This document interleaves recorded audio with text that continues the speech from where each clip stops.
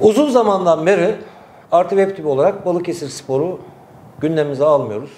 Takip etmiyoruz. Basın toplantılarına gitmiyoruz. Neden? Çünkü şöyle demiştik. Balıkesir Spor ne düşer ne çıkar. Ununu eledi, eleni astı. Herhangi bir gündemi yok. Ee, bununla birlikte ben kendi şahsım olarak demiştim ki Nizamettin bu takımda olduğu müddetçe ben Balıkesir Spor maçlarına gitmeyeceğim ve takip etmeyeceğim. Tabi bu arada güzel malzemeler çıkmadı değil. Mesela e, Giray Hoca her maçtan sonra playoff şansımız devam ediyor. Playoff'a gidiyoruz, playoff'a gidiyoruz falan filan. Adam hikaye anlatıyor.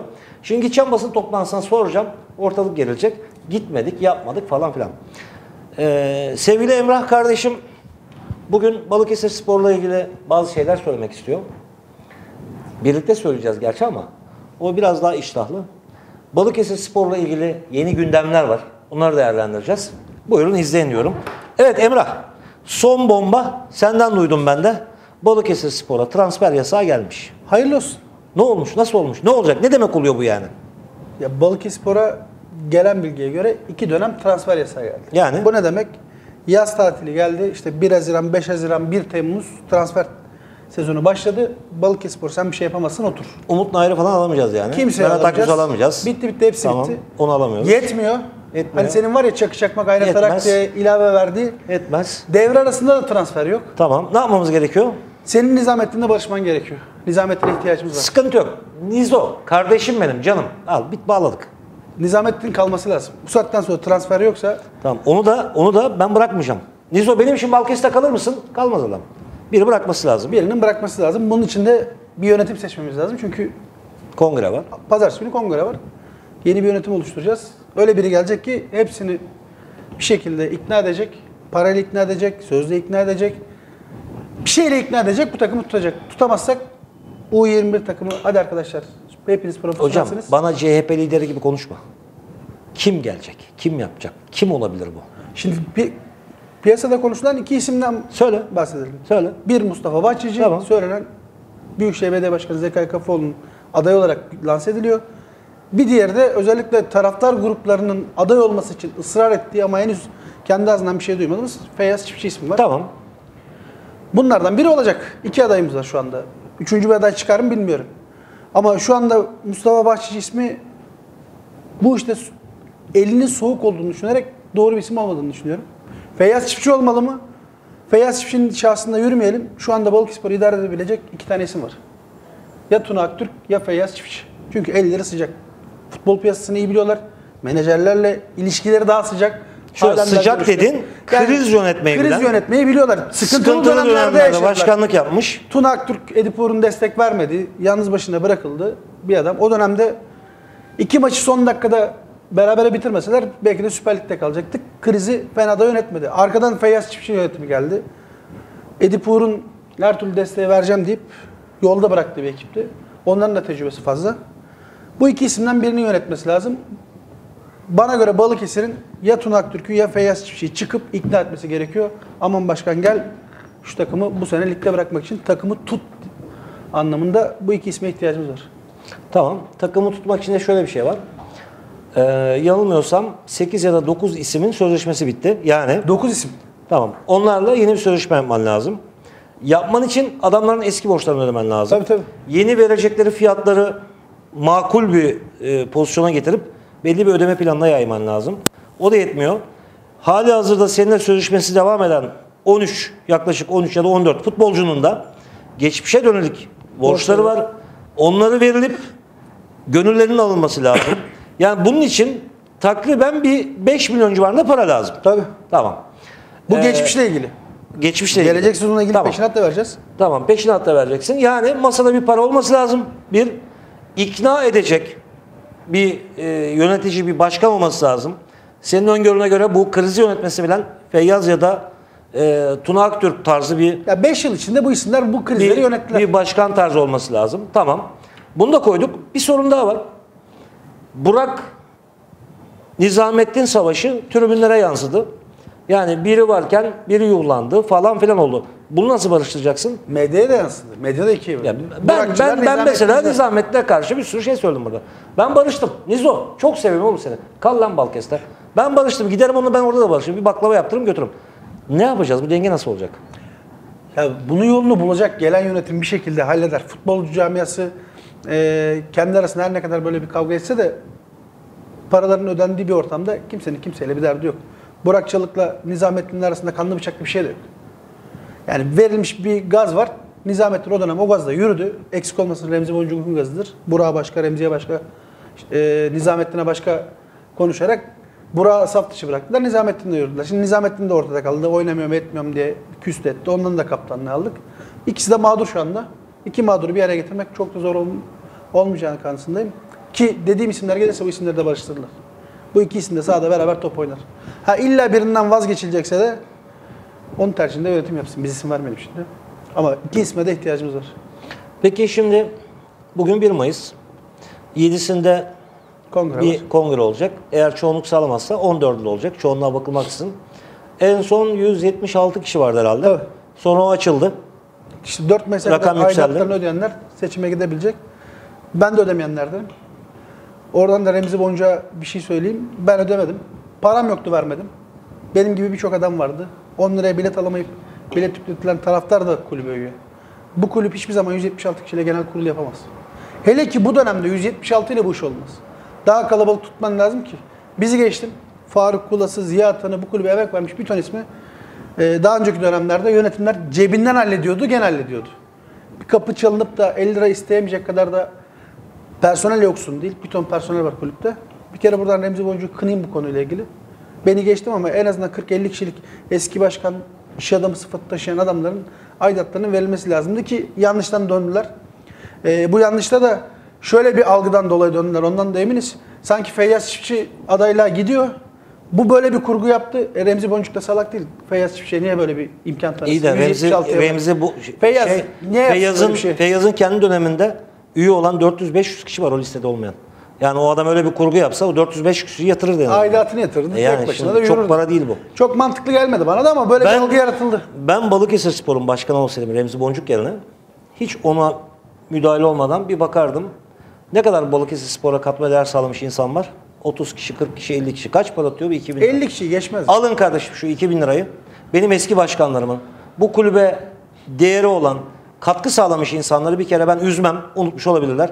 Buyurun ben bunları yatırdım derim. Yatırırım geçerim. Ya Remzi abi beni seviyor. Re. Rem, şey, e, Emrah'ı yatırmam mesela. Bana Emrah yatırsın derim. Yatırsın ya. Ama, ama şimdi yani bir sürü orada başkan var. Değerli insan var. Onları cebinden yatırırım. Remzi ama abi ben bir şey şimdi bak. Remzi ya ben senden bunları beklemiyorum. Abi senin paran kıymetli. Şimdi bir tane adamın Faruk Kulan 50 lirası yatırılır mı ya? Ya yapamaz Remzi bunu yani. Olmaz. Şu kameraya söyleyeyim ben. Remzi Boncuk önce kendi aidatını yatıracak. O da yatırmadı. Son dakikada yapmış. kılıfına uydurdular. Remzi Boncuk daha kendi aidatını yatırmamış. Emrah niye aidat yatırmadı? Açıklama yapıyor. Beni de çok seviyor. Ben de Remzi abiyi çok seviyorum ama böyle yanlışları var Remzi abinin ya. Peki, kendi aidatı soru. 50 liradan kaçtı. Emrah. Son bir şey soracağım çünkü kamuoyunda hep şu algı var. Diyor ki Büyükşehir Belediye Başkanı, şimdi Büyükşehir oldu. Eskiden de belediye başkanıydı. İşte rahmetli Sabrullah zamanından falan baktığım zaman. Şehre de belediye başkanı geldiği zaman o bir isim buyuruyor. Sen oğlum geç diyor, başkan ol diyor. Şimdi son başkan Zekai Kafaoğlu. Evet. Pozisyon bu. Ya da bu pozisyon yokken de olsaydı. Benim bir önerim vardı, söyledim. Senin de kabul ettiğin bir öneri ama şimdi daha da sanki sarpa sardı iş. Yani şunu demek istiyorum. Bir belediye başkanı geliyor. İşte Remzi Boncuk atandı mesela buraya. İlk soruyu da ben sordum. Kayıtlara geçti. Evet. Dedim ki atanmış bir başkansın. Edip Uğur giderse ne yaparsın? Önce bir şok oldu. Edip Uğur gitmez diye düşündü. Bırakırız herhalde dedi. Ama hakkını vereyim Remzi Boncuk'un. Delikanlı gibi çıktı dedi ki e, Edip Bey giderse, yeni bir belediye başkanı gelirse ben gereğini yaparım dedi. Yaptı da zaten. Yaptı da almadılar görevden falan filan. Şimdi Zekai Kafaoğlu birini atarsa bir Remzi Boncuk daha çıkacak ortaya. Yani kimi atarsa atarız. Seni atarsa sen Remzi Boncuk olursun. Beni atarsa ben Remzi Boncuk olurum. Ben diyorum ki kongreye gidilsin. Kongre işte senin, benim, onun taraftarların düşündüğü gibi. Feyyaz olmuş, Tuna olmuş, Mustafa Bahçeci olmuş ya da Kemal Büyükak olmuş. İsim önemli değil. Güzel bir yönetim, mümkünse tek liste girsin kongre salonuna. Delege desin ki tamam başkan biz sana inandık. Ama bir şartla başkan da çıksın orada desin ki arkadaşlar bak benden şampiyonluk beklemeyin. Çünkü biz transfer yapamayacağız. Şu şu şu sebep. Bilmiyorum sebebini açıklar mı? Şimdi ben Çok uygun bulmuyorum sebeplerini. Oraya da girmek de istemiyorum ama bak kardeşim benden şampiyonluk beklemeyin. Çünkü bizim transfer yapma şansımız yok. Zaten yasak biz, var ya. Evet me- biz mevcut kadromuzla yarışa gireceğiz. Ha ben kadroma güveniyorum. Eğer bugün bana yetkiyi verirseniz ben yarın sabah arkadaşlarla oturacağım ki öncesinde bir konuşma yapar onlarla. Ben bu takımı elimde tutacağım. Ben inanıyorum ki bu takıma düzenli ödeme yapılırsa, mutlu edilirse bu takım, bu takım yani playoff'ta oynar, çıkabilir de. Hakikaten oynar. Şimdi bu Oynar, takımdan oynar. bahsediyoruz işte. Playoff'un dibindeyiz işte. Evet yani. Bir 3 puan puanın silinmese, Bastılar devam ediyor. 3 puanın silinmese, hocalar hovardalık yapmasa, puan saçmasa şu anda playoff'tadın yani. Bu kadrodan bahsediyorum. Kadro dışı bırakmasa. E Yani şimdi bak bir sürü şey, bir sürü etken.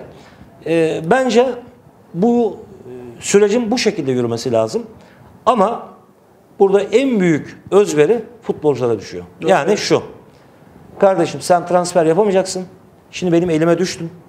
Benim değerim 5 liraydı. Yani atıyorum A takım, B takım, C takım bana 400, 450, 5 liralık teklifler veriyor. Ben sende kalacaksam 700 lira isterim. Şimdi Bunu futbolcularımız özellikle bunu izlesinler.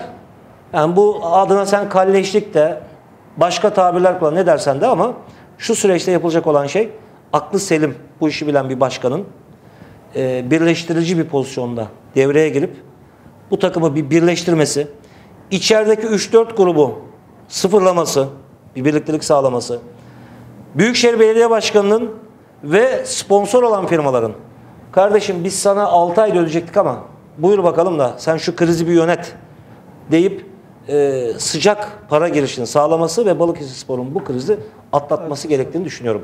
Bilmiyorum katılıyor musun ya da başka ekleyeceğim yani. konu var mı konuda? Doğru söylüyorsun da şimdi futbolcunun tam karnını kaşıyacağız ama. Gelin bakalım. Zaten almadı adam. Burak Çalık bir yıldır para ödememiş. Almadı, hiç Bir almadı. alacağı var.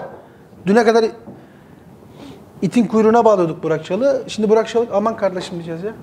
Şimdi bu saatten sonra karnını kaşıyacak. Bunu idare edecek adam lazım. Sıkıntı burada. Bütün yabancıları FIFA'da. Bütün yerlilerin federasyona bildirdi. Kulübün banka hesaplarında da e-aciz var 12 trilyonluk borç. Bu borçta Edipur'un borçları kapatıyorum dediği paradan borcu borçla kapattığımız bir senetten bahsediyoruz. Bu da kongrede kriz yaratır mı yaratmaz mı bilmiyoruz. Onu kongrede göreceğiz. Bu saatten sonra dediğin gibi kriz yönetecek adam lazım. İki tane isim var. Ya Feyyaz Çiftçi ya Tuna Aktürk. Emin Ermişler, Kemal Büyükakın, Rafet Çetinel bir ton isim var. Daha önce bir tecrübeli. Metin Mengüç ki ASKF'nin başındaki adam, futbolu yöneten adam. Ama şu anda bize futbol yönetecek değil, krizi yönetecek adam lazım. Bir şey daha var bir bizde. tanesi. Bak bizde bir eksik daha var. Ondan sonra zaten söyleyeceğim de bir şey yok da. Biz ne çekiyorsak kendimizden çekiyoruz. Örnek vereyim sana. Bu dosya kapandı da. Bitti de bu. Bizden bir tane çakal bunu kurcaladı. Kurcalarken bu yasağı başımıza yıktı. İsim de verelim mi ya? Sen ver. Vereceğim, bir tarafını vereceğim Bu, bu adam bu kadar meraklı olmasa, kurcalamasa bu dosya kapandı gitti de. Bak şimdi ondan sonra hakkını vermek istiyorum. Umut Kırtıl diye bir çocuk var. Umut Kırtıl Vukovic'le anlaşıyor. Niye anlaştın? Ulan işte bak transfer yasam var. Biliyor çünkü o çocuk. Dosyayı takip ediyor bunlar. Tomislav Gulubac gibi bir adam var. Ha sorayım sana ya. Vukovic'i 18 tane bu ligdeki istediğin takıma ver bakalım. Oynatacak mı oynatmayacak mı? Hepsi yönetir. Tomislav Gulubac 18 tane TFF 1. Lig'de takım var. En az 7-8 takım. Süper Veriyorum birader de bakalım almayacak takım var Süper mı? Lig'de 7-8 takım oynatır. Direkt Şimdi, oynatır. şimdi bu adamla sözleşme yaptı diye eleştirenler var ya. Ve rakam buradayken, rakam da vermeyeyim. Rakam buradayken onun daha aşağısına bu çocuk ikna edilmiş. Bu çocuk da duygusal yaklaşıyor. Ya ben sakatken bile kulüp bana bu güzelliği yapıyor. Tamam ya ben de aşağı iniyorum diyor. Bunu imzalıyor. Eleştiriyoruz. 2-3 tane yerli ve milli bizim çocuğumuz olan insanlara mukavele yapılıyor. Eleştiriliyoruz. Abi ne yapalım ya? Ben sana söyleyeyim mi? Bana gel başkan olacaklar. Vallahi kusura bakmayın ben buna başkan olmam derim. Ben de bu Niye? Ya, küfürü ben duyacağım. Eleştiri bana yapılacak. Hakaret bana yapılacak. Ben de kafa patlatacağım. Onu öyle mi yapayım? Bunu yapayım mı? Valla ben Feyyaz olsam gelmem.